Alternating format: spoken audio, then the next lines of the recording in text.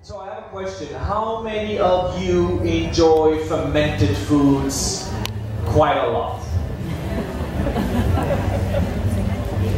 I don't believe you don't enjoy beer.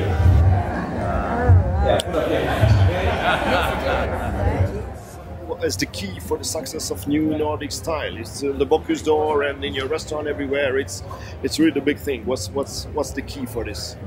What's the reason? Oh, I don't know. I mean, there's too many reasons to mention in a in a brief moment. Um,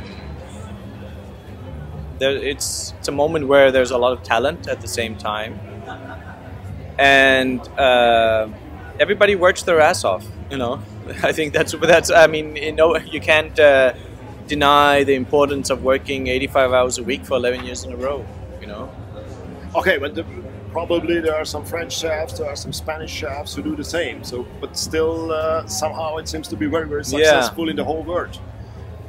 I don't know. I, I wish I could answer that. I really don't know yet. Okay. I don't know what what made us flourish the way we have. I think there's many things that that that um, that are the reason, but I can't pinpoint it yet. I'm, I'm still still trying to figure that out. Besides that, I think that it's a, that there's excellent cooking and a new sort of specific new style as well happening. And every time there's something new, it will get attention. But we, gra- you know, the attention l- stayed with us for a while. So I don't know. I, I'm I'm gonna figure it out. Okay, and just one last question: uh, What is better, to be the chef of the best restaurant of the world, or to not to be? You have tried both. To be. To be.